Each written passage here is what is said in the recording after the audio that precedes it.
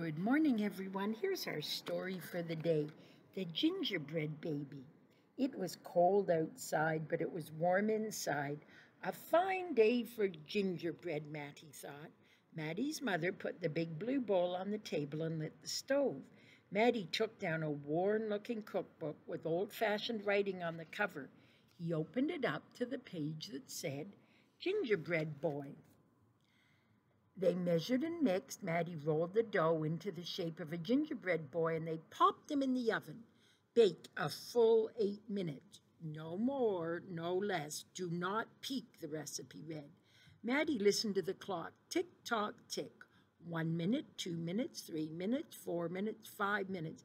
Matti couldn't wait any longer. He opened the oven door to take a peek. Instead of a gingerbread boy, out jumped a gingerbread baby. He pranced around the big blue bowl. I am the gingerbread baby fresh from the pan. If you want me, catch me if you can. Matti's mother reached for the gingerbread baby to put him back into the oven, but he ran all around the kitchen and the door opened and in came Matti's father. What's that delicious smell? he asked as the gingerbread baby tumbled through his legs and outside into the yard. He ran by a tabby cat. She twitched her tail and sprang at him. They rumbled and tumbled, but the gingerbread baby came out on top. He ran toward the garden wall. The dog caught a whiff of tasty ginger and sniffed along behind him. But the gingerbread baby was halfway up when the dog caught up. He barked and barked, and the gingerbread baby climbed the wall. Matti was still inside. He heard his mother and father yelling. He heard a cat meowing and a dog barking, and he heard the gingerbread baby shouting, Catch me if you can. Matti opened up the worn looking cookbook for the second time. Meanwhile, the gingerbread baby wheeled on down the path and into the barn. The goats looked up as he somersaulted across their backs. The last one tried to catch him, but the gingerbread baby was too fast. Martha and Madeline were standing by the well when the gingerbread baby stopped to take a drink. They looked at each other and winked. Martha started to talk to him while Madeline tiptoed up with a bucket, but they couldn't fool the gingerbread baby. He took a braid from Martha and a braid from Madeline and tied them in a knot and ran down the road. Back in the house, Matti stirred and mixed and rolled the dough. He shaped it, put it in a pan, put it in the oven. Tick tock, tick tock, eight long minutes. This time he did not peek. I will catch him if I can, said Matti. As he went bouncing along, the gingerbread baby saw a farm wagon. He jumped in and settled down for a ride.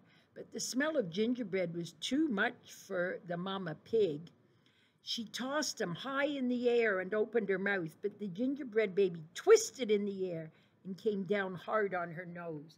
I am the gingerbread baby, too quick for the mother and father, too fast for the cat, the dog, and the goats, too clever for Martha and Madeline, too smart for the mama pig. Who's left? Catch me if you can. Feeling smug, the gingerbread baby strolled along by himself till he came to a bridge. Just as he got to the middle, he heard running feet and saw a crowd of villagers. The gingerbread baby was trapped. He jumped up onto the railing, backflipped through the air, and landed on a chunk of ice floating down the river. The ice bobbed along with the gingerbread baby dancing on top, singing, Look at me, and what do you see? The best gingerbread baby ever. Till his feet got cold and he jumped ashore. Oh. Who was watching from the trees. Uh oh, it was a fox. He crept up behind the gingerbread baby, ready to eat him. But the fox couldn't help himself and he licked his chops. Smack, smack. The gingerbread baby heard him and ran as fast as he could. Just when the fox was catching up, the gingerbread baby saw the milk and cheese man and he jumped into the bucket Ha, ha, he, he, you'll never catch me. I'm the gingerbread baby. Catch me if you can. The milk and cheese man heard the gingerbread baby's voice. Who is meddling with my milk? He shouted and lifted the lid. The gingerbread baby was ready. He jumped out, tweaked his nose, and ran. Now the milk and the cheese man, the fox, the villagers, the mama pig, Martha and Madeline, the bleeding goats, the barking dog, the meowing cat, the father and the mother were all after the gingerbread baby and getting closer, and he knew it. The brash baby was getting tired. He wasn't as peppy and proud as he'd been. He sniffed the familiar smell and followed his nose to the woods. He couldn't believe what he saw. There in the middle of a clearing was a gingerbread house, frosted with sugar, covered with candy, and doors with peppermint handles wide open. The gingerbread baby clapped his hands with glee and he ran inside. In a tick tock, everyone arrived in the clearing, but all they found were a few bits of frosting, a peppermint candy, and crumbs.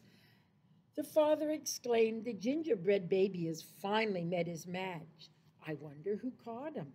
Well, let's go home and tell Matti. Hello, Matti, said his father when they got home.